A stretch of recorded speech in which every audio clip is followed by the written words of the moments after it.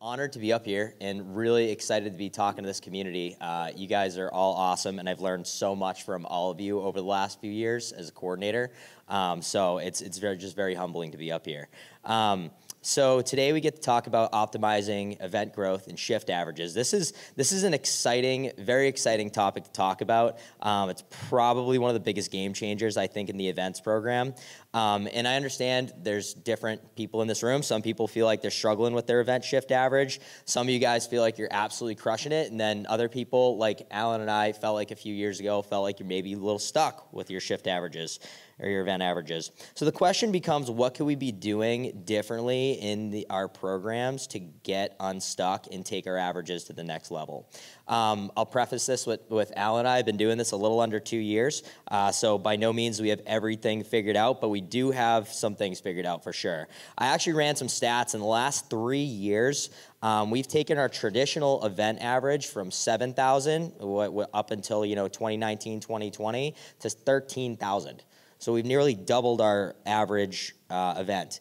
Um, obviously, there's a lot of things that go into that, and the main thing comes down to just the hard work of our team um, and our leadership team. Uh, it's been really awesome to see the people that you know have really stepped their game up and worked their butts off to just absolutely kill it in the booth.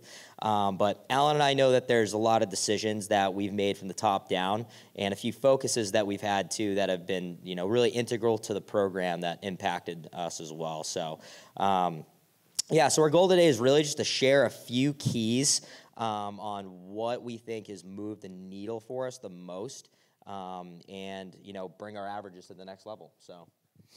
Yeah, and for me, guys, I'm extremely grateful to be up here as well too. You know, on my bucket list was to actually speak at NET back in 2019. I made it as one of my goals, so it's exciting to be up here.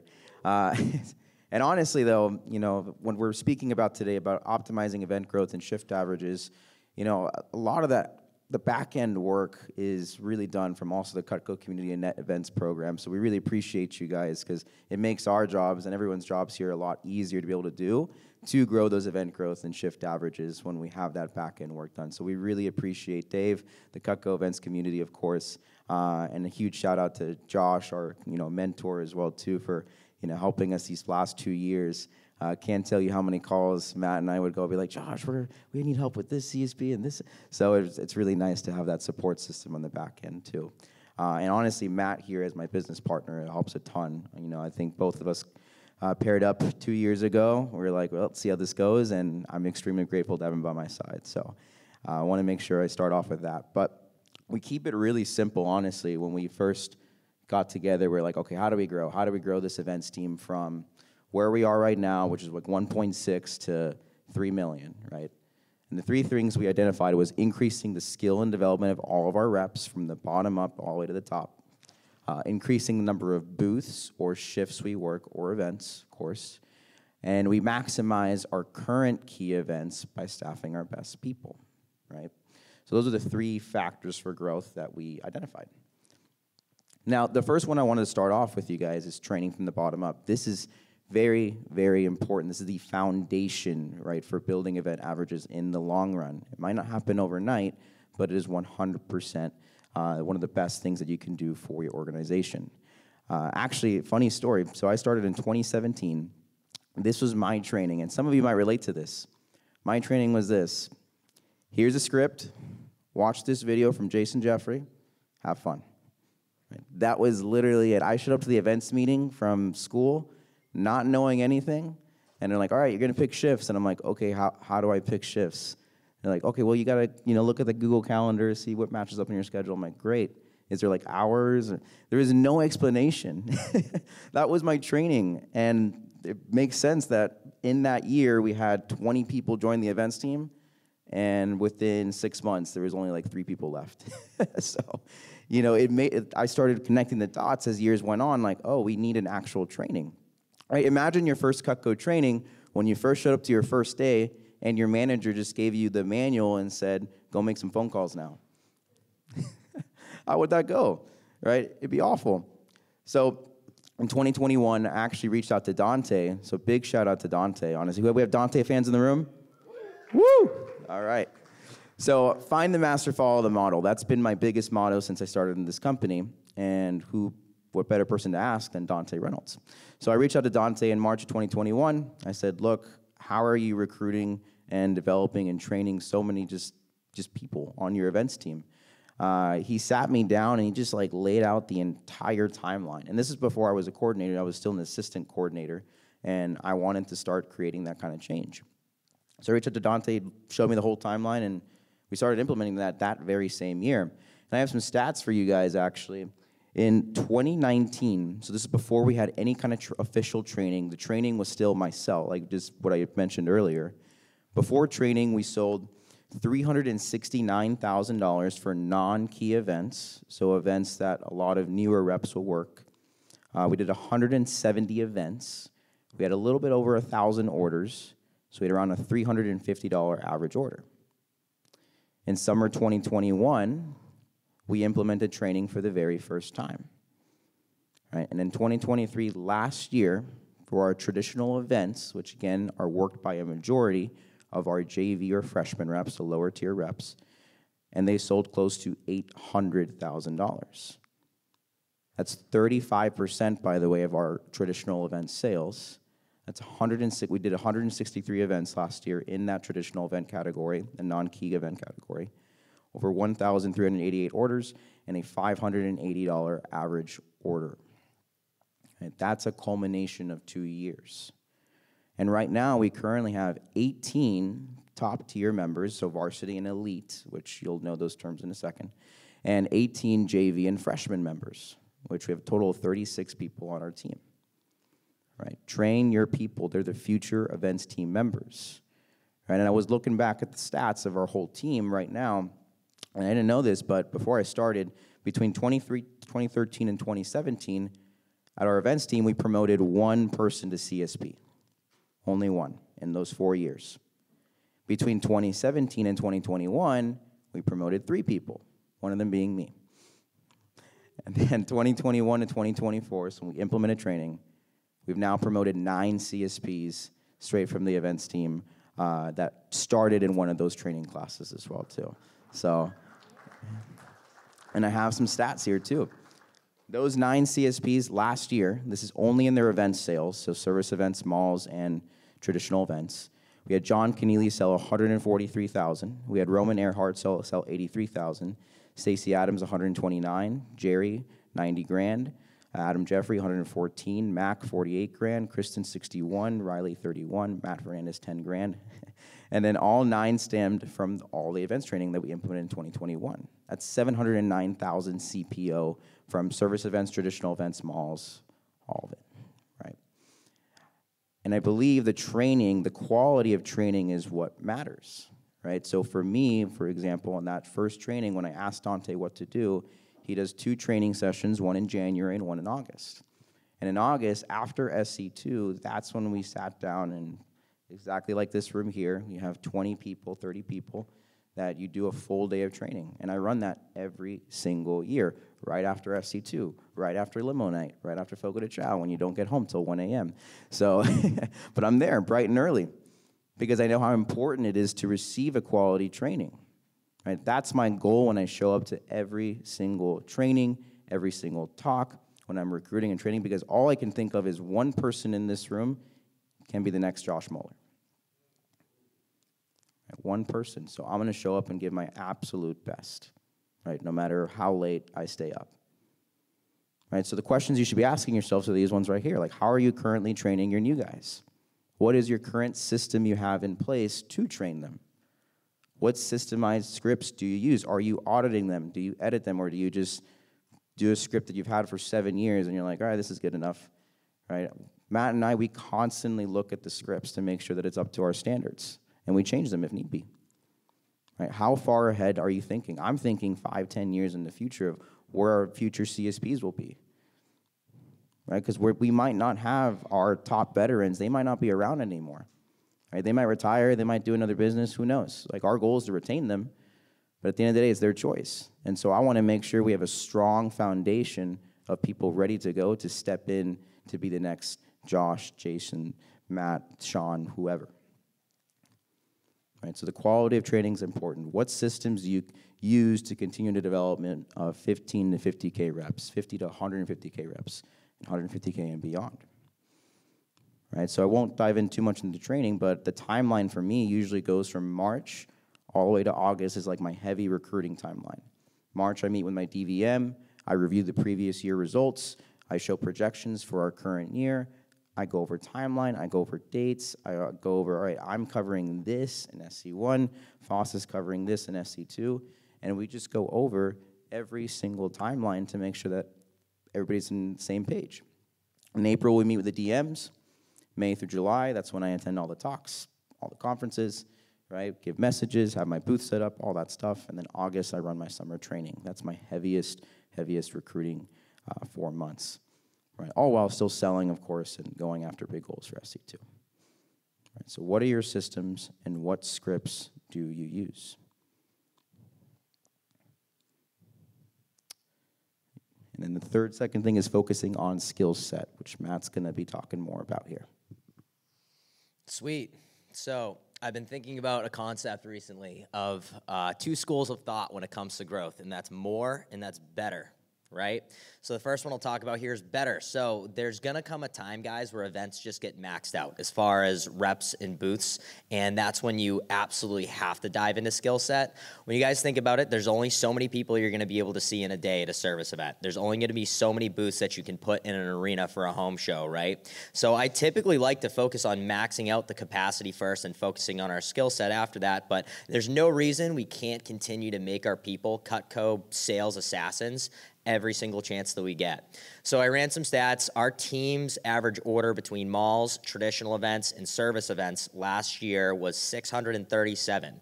Uh, we came in number three behind South Coast at 680 and LA at 688. Shout out to Matt and Brandon. You guys are animals. Um, but I think there's a few ways to increase the average order of the team. Number one is drill for skill. Uh, every single meeting that we have, there's some form of role play or live role play where we put people on the hot seat and they can't. They're not only able to sharpen their skill sets, but everyone can watch them and pick up on a line or two. Um, pretty sure Alan got this idea from Brandon, but we have two teammates do a live demo where the other teammates who act as the customers in the rest of the room already knows what their objections are going to be and how the scenario is supposed to play out. Um, what this does is it keeps everybody on their toes on the team because nobody knows who's going to be the next person to be in the hot seat, right? and uh, and it also it kind of uh, allows people to learn from them. So, uh, but anyways, yeah, if people blow the hot seat, we basically shame them into oblivion. Uh, no, I'm just kidding. so the other thing that uh, that it allows the rep in the hot seat to get some really solid feedback, like positive and negative feedback from some of our elite members that they just normally would never get an opportunity to get. Um, so most of the reps um, since we've been doing this, like that, have been in the hot seat during our uh, our our team meetings, have grown significantly after that experience. Like it's noticeable. Um, this also gives the rest of the team the opportunity to either pick up on something new that they want to utilize in their scripts or just something that they noticed in that person's script that they might be forgetting to do. I say this all the time, but the best reps in the country aren't always doing something crazy new and unheard of, unless you're Jason. Jason's always on some crazy stuff. But uh, they're, they're remembering to do the things that we already know and execute with excellence, right? So Number two is scripts in focus. Uh, Jason and I constructed a uh, new customer script with a mixture of kind of Jason's stuff and Curtis's stuff probably about four or five years ago, and that's been working great for us. And Alan and I are excited to come out of this meeting and continue to revamp our scripts a bit. It's basically a triple close with a few plugs for the rest of the kitchen as well for the easy to follow. Um, we have a past customer ultimate upgrade script that uh, Jason Jeffrey created for us as well that we've been using for quite some time. And lastly, we have a walk around and think about an objection script from Luke. Um, those are our three main scripts. So, one of our core rules of our team is memorizing your scripts. We make it mandatory to be on the team, and between putting people in the hot seat and Alan keeping the newer guys accountable on the monthly meetings, which had been a game changer to have these scripts down, everybody's on the same page And uh, I'm not afraid to tell the newer guys if you don't memorize your scripts, you're going to lose money in the program and you're going to have a bad time, okay? So, uh, however, if you do memorize your scripts, you can read that thing like an absolute robot, not have a communication bone in your body, which FYI is how I started, and you can still sell and be successful with the program. So, the other thing is for our displays. Um, we don't, most of us don't have display boards out. We kind of, and we keep kind of a package focus. Some of our guys will maybe do one display board. I think it's and there's different schools of thought on that. I understand, but I think it's important to have uh, some knives out, even if it's just business gifts, so people are more attracted to the booth. But as, as a team, what I'm trying to get across is we just have a huge emphasis on sets and packages with our customers, and it's always interesting because whenever the newer guys come and field train with a lot of our our vets one of the first things they pick up on is how much we shy away from promoting individual items as much as possible. So that's ingrained in the whole organization. So I think it's really key to let your team uh, see through stats too how much sets and packages move the needle, not just for an entire shift, but sometimes an entire weekend or an entire show, uh, right? So, number three here is sharing best practices and having great messages uh, and on a skill set at meetings. Um, a lot of you guys in this room, by the way, have spoken to our team at some point, and um, I, and I, I, can't thank y'all enough for that. The reason we have we we have this community together is so we can learn from each other and lean on each other, right? Um, we're super blessed to have Luke Mills um, as our training consultant for the team. He helps with key event prep calls and gives a message at every meeting that we have. Um, guys, we really pride ourselves on going the extra mile to dial in some really good speakers at our meetings and identify what the team needs to be better at. Like, I'm sorry, guys, but the YouTube video on Grant Cardone just is not going to cut it. Like, full transparency, I'm not the stats guy typically, but I know one of the most important metrics that you can measure is where your team excels and struggles in their current skill set at the booth. For example, like our team is really good at selling ultimates and ultimate upgrades. Um, of course, we aren't perfect. We're continuing to learn, but that's something we don't feel like we need to focus on at the moment. However, we're absolute crap at business gifts. We understand that. And so this year, most of our speakers and our focus is going to be tailored completely around business gifts. Um, so we're going to be unrolling a bounty program around it, sharing best practices, promoting it on the GroupMe when people get business gift orders. So and just remind your team that regardless of how high their averages are, there's always someone out there with a better skill set that you should be learning from. Right? Our training calls before Maricopa Home Show, we actually do a round robin on what has been working for everyone lately in their business, helping them sell more um, and you know, kind of diving in on what we can implement for the coming home show, right? And we're excited to try and break another record here in a few weeks. So, um, our vision for our team is to be one of the most talented local teams in the country. And the more we focus on creating a culture around that, the more it comes to fruition. Um, we make sure to lean on the best reps on our team to be innovating and teaching consistently.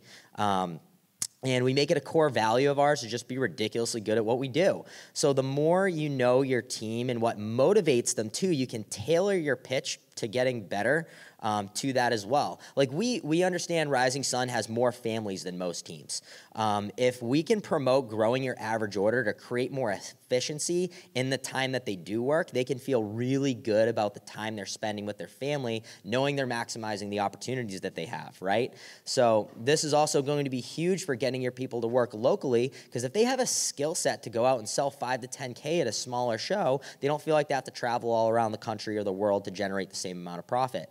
So one thing I love that Texoma did um, last year, and I think they're still doing this year, is they did a bounty for their team for beating the record for an event. Super cool. Got people excited to go to every event with a focus on growth. And of course, everyone likes to be the one saying that they crushed the event and broke the record. So you don't have to have a bounty, but over the last few years, we've just been promoting this for us. It's been huge. And I love getting, I love nothing more than getting the text from one of our team members asking, hey, what's the record for this event that they have coming up that weekend? Because I know it's about to happen. So. Yeah, we always promote the records at our events team. Is like, oh, Matt just broke the record, John just broke the record, and we just love seeing just people excited about that too. Um, so the third thing is identifying the top 20% of your key events. Uh, show of hands, who here knows what the Pareto principle is? A couple of you. Yes. So that states that 80% of consequences come from 20% of causes. And over the years, it's now 80% of your sales will come from the top 20% of your clients. Well, for us, 80% of your sales will come from your top 20% of your events. Right? Your key events are the fruit of your team. Look for ways to grow it consistently. But you can't grow something if you don't know what you're growing. Right? The first key is to identify what your top 20% of events are. For us as a team, right, we literally sat down before we created our whole system what all our events are, what the CPOs produce over the past like three, four, five years for each series, every single one of these. And we started like labeling, okay, these are our elite events, these are our key events, these are our non-key events, right? And our goal is like, let's look at the top 20, these like elite ones, and see how can we grow these. And every year now, Matt and I actually sit down and download all of our event sales that we produce, and we analyze every single one of them right? But we focus on those elite events, right? Specifically, you know, if you guys know Maricopa is one of our biggest shows, right? That's been our biggest project. Like our goal, our mission is to make it a million dollar event over the course of those five events, right? So that we're focusing on that. We're asking ourselves, how can we grow this? Right, we analyze it. Um, what's great, guys, is like the bottom. Like I'm not saying get rid of the lower 80%, don't even focus on them, but if you're focusing on the skill development of your lower reps, your JV, your freshmen, whatever you call them, right, it's going to get taken care of because you're focusing on shift average, you're focusing on the event average of them, you're providing quality training. So when they show up to those events, they're going to crush it, right? The same thing. But it's our job as coordinators to see how can we take these top events and make them grow further. Right? What are the strategies? And for the criteria that we use to identify these top 20 events, we look at the CPO that it's produced, the number of orders, who's the promoter that works, you know, that manages this event, and how long we've worked it, and any other notes that might come up that, you know, affect our decisions when it comes to these kind of things. When we identify these, we start tracking these numbers, we can start seeing growth to come from it. Right? And again, like our focus for Maricopa, for all of our elite events, is to figure out how can we grow these things to a higher level. Uh, and Matt here, actually, one of the key things for this is expanding through more booths and more shifts that Matt's going to talk about because this is like baby child for this. So this is where I get to talk about the second school of thought, which is more. And uh, uh, this honestly has been our biggest focus as coordinators the last year or two, and we feel like we've really pushed the envelope on what's possible at our events with staffing. And here's the thing we let the team know up front that we're going to be really aggressive about maximizing our events for a year or two. That might mean we have an extra booth or an extra shift that maybe didn't need to be there, but we can't know what the ceiling is until we hit it. And in order to grow, we have to push the limits until we hit a point of diminishing returns. Um, Alan and I view one of our most important jobs is creating more opportunity for the team, and this is one of the best ways to do it. So, number one thing here is going to be analyzing the data for your key events and your crown jewel or elite events, right? Um, order count at events will tell you a lot about what's possible. If someone's getting 15, 20 orders in a day at an event, it's probably an indication that we could use another person since there were probably some customers that got missed.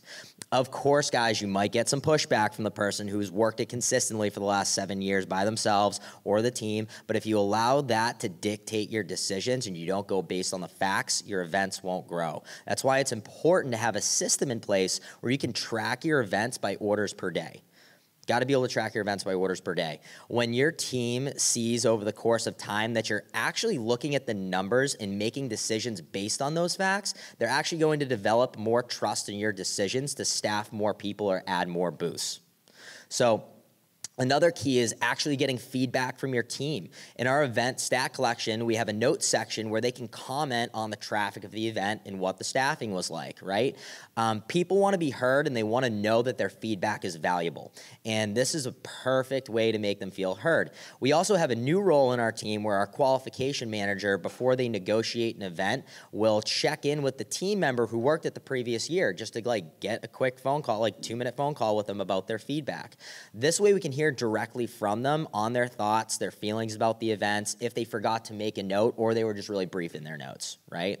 So Alan and I are, are very intentional about asking everyone who worked one of our top events how they think it went and how the staffing was, because um, we're always growing and evolving and changing things. So it's it's the same thing with the amount of booths. Um, the results for each booth will tell you a story, and if every single booth at a large event produces similar orders and sales, it might be time to try another one. Um, this can also let you know if you have too many booths and the first few might be cannibalizing sales for the others. I'll give you guys a great example. Maricopa Home Show in July and February last year broke the record. We had a 40K booth, 40K booth, 40K booth, 55K booth, right? All four of those did great. So obviously I was like, let's add a fifth booth and see how it does.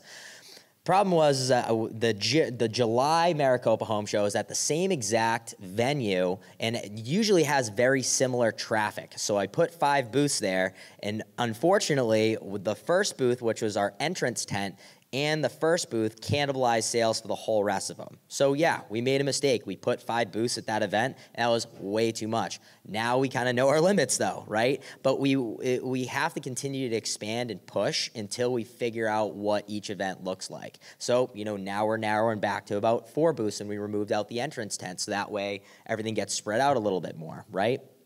But we actually uh, make it a point to really look at that that stuff. Um, so.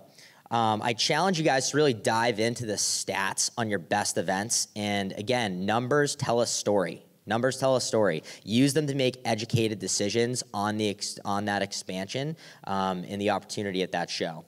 Uh, number two, just creating more opportunity. Everyone wants to work our top events, obviously. Even if it's a booth that's a little bit lower on the totem pole as far as the results go, a lot of your team will be excited just to be there and generate sales that they wouldn't have had. Um, I learned this working the Wisconsin State Fair. I don't know how many, you know, dozens of booths they have there now, but it was great. Um, but people were excited. A lower performing booth at your top event might still generate more sales than a smaller local event that weekend, so people will want to work it. Everyone in this room has heard at one point from their people that they want to work more shows. Um, our philosophy as coordinators is if there's somebody on our team that wants to work and keep their schedule full or work every weekend, there's no reason we shouldn't be able to find something for them. No reason. So adding more booths is such a game changer because it opens up a whole weekend for someone to work if one of our vet reps decides to be at a new booth at our top event rather than a small key one that opens up some of those mid-tier uh, some of those mid-tier new guys to work to work that event. So um, we tell the team that if they want to work a weekend and there isn't anything on their schedule, come and talk to us directly and we will find them something, whether it's a pop up at the mall, like Nick talked about, right? Or a service event, or we just find a, a smaller local event. Um, but uh, Texoma last year did an amazing job with promoting uh, weekend long solo service events in saturated areas um, that reps could eh, know they could fill their schedule up with so they could be in the field that weekend. Um, the more boosts that we have, though, the more people feel like there's opportunity for them. And the more people feel like there's opportunity, the longer they're going to stick around and the more they're going to sell. Um, so obviously, this has to be worth the rep's time, depending on where they're at in the business. Um, but we think one of the most underutilized areas to grow sales is small local events. And you guys know I preach and harp on this all the time. But a lot of the top guys on your teams don't realize that a with where their skill set is at the moment and how the brand recognition of Cutco has just exploded over the years, that they could go work a small local event that did a grand or two in the past and probably sell 6K plus at it. And trust me, that CPO really adds up over the course of the year. So we almost promote it as a challenge too for our top guys to go into a smaller event that has potential and show people what's possible. Go show us what's possible. It feeds their ego and it reframes their mindset on what's possible now at those kinds of events. Um, I'm not saying that there aren't shows that aren't worth working out there, um, or that there's absolutely no limit to what how many booths you can put at an event. Of course there is, but a lot of reps and coordinators, I think, just think too small. Um, when it comes to adding more shifts, um, this was a huge area of opportunity for our team because we worked a lot of two person events uh, solo. Um, so adding a second person allows us to get that overflow, which is inevitably going to happen regardless of the rep that's working it.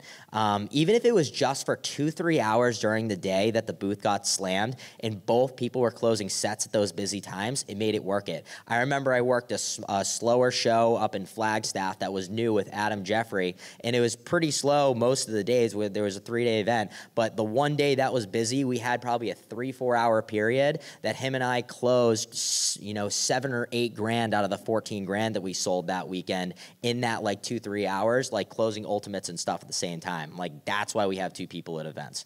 So the also the benefit of more shifts is it gives people an opportunity to work together and build their professional relationship. And so many times learning from each other as well. It's just great for culture when people have the ability to work alongside uh, their coworkers. Um, and also work towards a common goal of breaking that event record. Um, and it helps the new guys with their learning curve as well. If you get a mid tier or lower tier rep paired up with a vet rep. So you're also going to start to learn who works well together and who doesn't. And for certain events that get staffed, you can take that into consideration. Um, growing events is a constant process of trial and error, though, and you, you have to commit to it and you got to see it through. Creating more opportunity obviously isn't always a clean process, but if you play scared, you can't grow.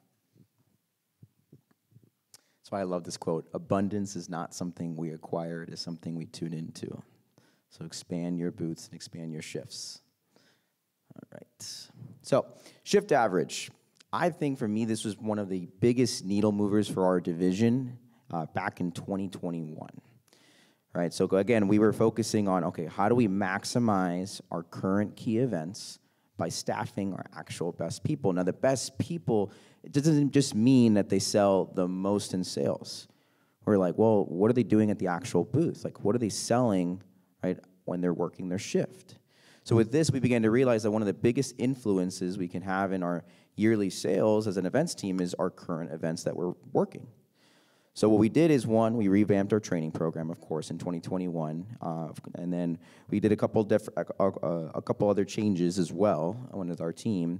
And then the last thing that we did was, okay, we need to like revamp the whole picking order, picking tier system that we've had for 12 years, right? So I sat down with uh, you know, Jason actually, the coordinator when I was assistant coordinator, and I introduced this concept to him about we need to refocus our shift average because right now what was happening is we had people hitting their their milestones because at the time to get to the higher level of picking shifts and events, all you had to do was reach a certain career career sales milestone, and that was it. Right? You're at a million dollars in career sales, perfect. You're in the very top. And it didn't really take into account of people that are honing their craft, their skills at the booth. So we needed to redo our whole picking process for this. And we wanted, we wanted to create a better reward system for reps who are A, actively a part of the events team, right? And they're not just showing up just to show up, but they're are there. They're contributing, they're attending meetings in person uh, compared to people who aren't attending at all and still getting quality shifts. And we wanted to make sure that it's focusing on shift average right? So the old system, like I mentioned, was just uh, tier placement was just based off of what you sold since the last meeting and what your career sales were. Those were the two qualifying factors on what determined your picking order was career sales and what you sold since last meeting, right? And we sold in 2019 when we had the system in place, we sold 1.6 million, and we were just you know sitting around there for so many years before that as well.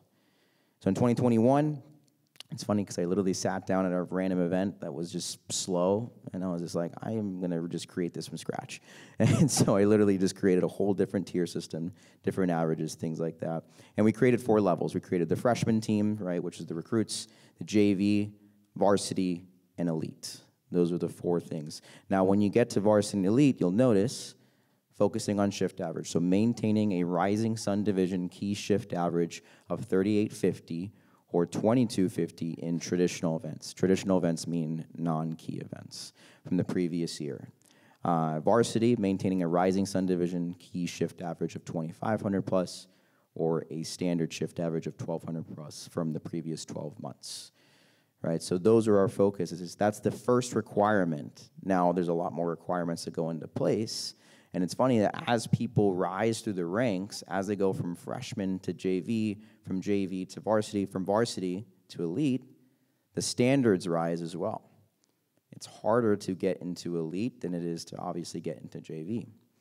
And our reason for this was because we wanted to make sure that the people who are elite, that are picking the best shifts, picking the best events, right, that they're meeting those requirements, that this is a full time business for them. They're not doing this part time right? They are CEOs, hence why their standards are a lot higher. For example, we did, again, last 12 months shift average. We did career sales, uh, what you sold in the past 12 months. Uh, did you purchase your whole booth display kit as well? Uh, number of service events, business plan submission for our elite members, meeting attendance. We now added marketing requirements too if you're an elite or varsity member. Uh, so all those things just determine your status on whether you're elite, varsity, JV, or freshman. Right? Now, picking order, this is the, the biggest thing that we were figuring out how to focus more on shift average because not every event is weighted equally, as you guys know. Uh, and it would cause a shift if people are like, well, I'm just going to be picking the best events, so my shift average is the highest. So what we did is we actually looked a variety of people over the past years, back in 2021, different levels. So we looked at like Luke, we looked at myself at the time, we looked at Jason, we looked at a couple other people, and we're like, okay, what did they sell in key events, and what did they sell in non-key events? We figured out their averages over the span of those three years. And then what we found was that on average, if you took like all those reps' averages, they would sell 2.6 times more at a key event than a non-key event. Right? So we didn't want people just focusing on key events. So what we did is we added a multiplier on the traditional events of 2.6. And the weighted average equation that we use, and this is the only math part, so sorry guys, this is the only math part that we use to find the weighted average is we take what they sold for key events total CPO, and then we add the non-key event total CPO with, a, with that 2.6 multiplier, and we divide by the total number of shifts they worked. And that gets us their weighted average between traditional and uh, key events, or non, or non-key events and key events. Right, so this helps us because now we're able, now people are like, okay, well, I can work this key event, it's great, but there's people out there that are working traditional events and crushing it. And now they're getting a 2.6 multiplier, and that's great because that's, that's the incentive all along. If someone's crushing non-key events, that's good, right? That's a good thing, right? So now it's like, now you're debating, now reps are debating whether, okay, well, do I want to just take all the best events or do I want to try and work those smaller events so I can get that multiplier? And that's helped a ton with our average. And just so you guys can see what I mean by this, in 2021, we sold 1.6 million. Right, we sold 1.2 million in that fall, right when we introduced that concept in August. Right, we introduced the concept in August. We said we're going to be implementing this in January of 2022. So everything you sell from this fall campaign is going to count for January 2022 for your for your averages. And so everyone started focusing on averages, and we sold 1.2 million in that fall. All right. 2022, first full year with this program, right? So that's our first full year with this new system, right? Everything. We sold 3.2 million. Right? And it wasn't a perfect system, actually, right? But we hashed it out. We worked on it to better, uh, you know, for our reps. You know, a good, quick story, just so you guys can see, to show you that a, we're constantly listening and taking uh, opinions from our reps to see if it'll better our system. And one of our reps was like, hey, I love this system because it's allowing me to focus on my average. However, I feel like I'm, wor- I'm working so many events, and some of those events aren't going as great, and now I'm being penalized because I want to work more events. And so we listen to that, and we're like, oh, we need more criteria to determine the actual picking order. So that's what you guys see on the far right over there is that those three different criteria that we now currently use. I won't get into the you know nitty gritty of like what the math looks like. If you guys want the spreadsheet, I can send it to you. Essentially, it's like a golf score kind of thing. But um, 40% of their picking order is determined on their weighted average. 40% is determined on their booth sales from the division, right? Not if they travel to you know, anywhere else but from the division. So sorry, Matt, your state fair of Texas sales won't count for Rising Sun. Uh, and 20% counts from the last 12 months sales.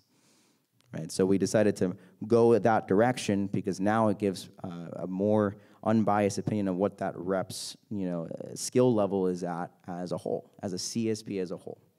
And we find this has worked a lot better. We just implemented this in 2023, or sorry, 2024. So literally January uh, and we think this is going to help a lot more. So 2022 we sold 3.2, and 2023 we sold 3.3. So the question you should ask yourself for your team, if your averages aren't where you want them to be, What are you doing to bring awareness to it? Right? If you want your averages to grow, you got to first start by talking about those averages to your events team. Cool. And lastly, delegation and leadership. This is our secret sauce. So I love how Alan's so smart. He just sits down at, a, at an event and he was bored and came up with the best shift picking system we've had in 12 years. So, yeah, that's great. Um, how are we doing on time, by the way? Okay, cool. Um, well, I'm going to skip over this section because it doesn't have a ton to do with um, shift average, just kind of a bonus thing. But I, I, will wrap this up with you guys for you guys with a couple of key points here. Um, so here's the thing, guys. If you're going to focus on anything to grow your events this year, um, number one, focus on training and development from the ground up. Um, guys, your, your new guys need more time and attention to develop and retain them than you think. So go the extra mile for those guys, and you're going to have a deep bench before you know it. Give them the best scripts and the best training you can right out of the gate, and find a way to make it you know palatable for them to learn and integrate as quickly as possible guys the best coordinators are thinking decades over days so, are you trying to have a great team this year or for years to come? Consistent development at every single level, like Nick talked about, is one of the best ways to make sure you're maxing out, your team's opportunity. So, start to ask yourself, guys, what does each tier and level of development on my team look like, and what systems do I have in place to bring them to the next level, right? Number two, focus on constant skill set and development. Um, as Brian Carter always says, we're not entitled to growth. I've heard him say that probably a million times. Uh, it's your job as a coordinator to provide the training and content necessary for your team to grow. Yes, you should encourage mentors. Yes, you should bring them to net. But there's so much more that you can be doing throughout the course of the year to help people be the best they can be at selling Cutco. So, what time do you have set aside in your calendar to grow and develop the people in your organization? And then number three, last thing is focus on shift average. Uh, shift average is the golden metric for growth of your people, your events, and your program altogether. Uh, your average order is awesome, guys, but if you're only taking two orders a day, I don't care how good it is. So put the systems of accountability in place to make sure that people know where they are at with this and reward people based on their performance and effort right? And lastly, a bonus tip for you guys just develop more badass leaders on your team. It's, you won't regret it. What makes Rising Sun the team we are and what our X factor is, is the leaders we have in the booth and out of it. We would be nothing without the leadership team that we have and the key players in our organization that are intelligent, motivated, and care enough to move the needle in every area of our team. Uh, if you've ever read a book called The 21 Irrefutable Laws of Leadership by John Maxwell, he stakes the law of explosive growth. Good leaders add more followers and grow by addition, while great leaders add more leaders and grow by multiplication. It's called leaders' math. So, followers attract more followers to get the job done, whereas leaders attract and develop more leaders and followers to get the job done and continue developing everyone in the organization. So, how much focus do you have on developing leaders within your show team, not just to have explosive growth in 2024, but for the next decade?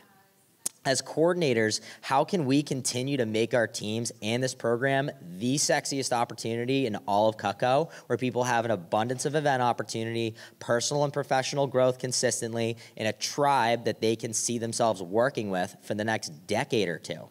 In the words of Simon Sinek, leadership is not about being in charge, but taking care of the people in our charge.